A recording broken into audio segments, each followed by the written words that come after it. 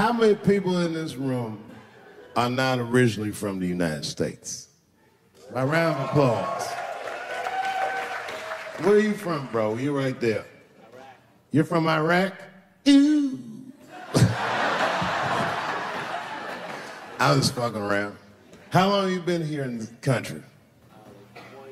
23 years? Are you a citizen yet? You are? Congratulations, nigga. Congratulations.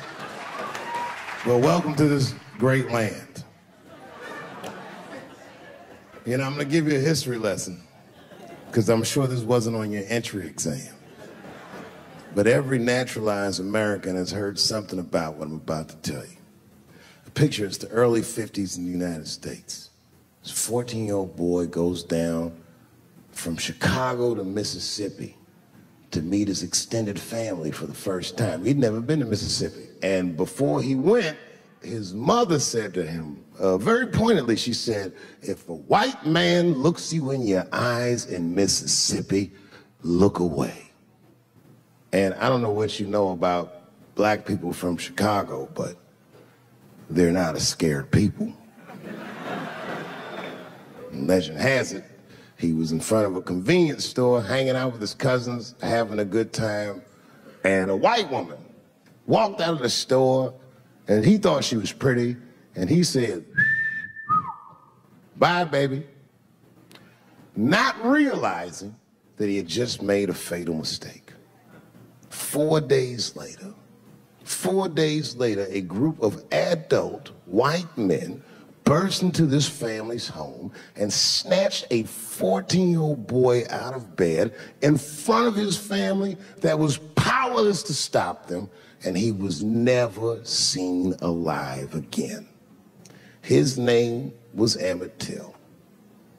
They found his body maybe a few days later. It was in a creek tied to a wheel so it would sink, horribly beaten and bloated. Hideous. And lucky for everybody in America, his mother was a fucking gangster. She was.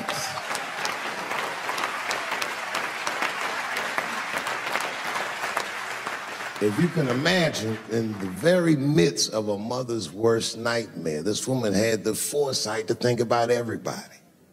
She said, Leave my son's casket open. She said, The world needs to see what they did to my baby. And every publication here in the United States, from Jet Magazine all the way to the New York Times, had this boy's horribly bloated body on its cover.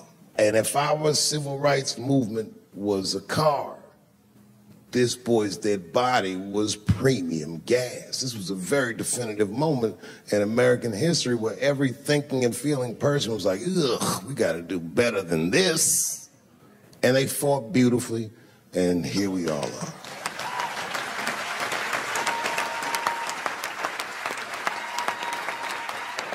And, and the reason that I bring that up tonight and why it's relevant now is because less than a year ago, the woman that he allegedly whistled at admitted on her deathbed that she lied in her court testimony.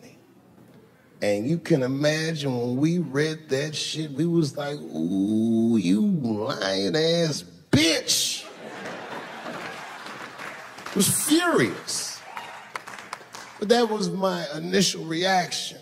And initial reactions that we all learned as we get older are, are often wrong or more often incomplete. They call this phenomenon standing too close to an elephant. The analogy being that if you stand too close to an elephant, you can't see the elephant. All you see is its penis like skin. You gotta step back and give it a better look. And on stepping back and thinking about it for a few moments, I realized that it must have been very difficult for this woman to tell a truth that heinous about herself at any point in her life, even the very end. And I was grateful that she had the courage to tell it before she left this world because it's an important truth and we needed to know.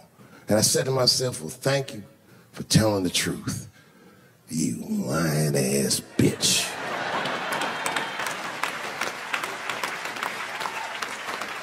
and then time goes on, and then after time, you can kind of see the whole elephant, and it's humbling because you realize that this woman lied, and that lie caused the murder. But that murder set in motion a sequence of events that made my wonderful life possible, that made this very night possible. How could this be that this lie could make the world a better place? It's maddening. And that's how I feel about this president. I feel like this motherfucker might be the lie that saves us all because I have never felt more American than when we all hate on this motherfucker together. Jesus Christ, it's good. And when it happens, I can see everybody that's struggling. So if I'm on stage and I tell a joke that makes you want to beat up a transgender, then you're probably a piece of shit and don't come see me anymore.